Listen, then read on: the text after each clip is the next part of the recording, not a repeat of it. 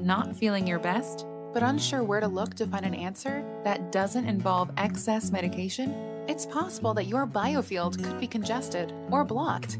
Your biofield is a biological electromagnetic energy field composed of different layers, kind of like the Earth.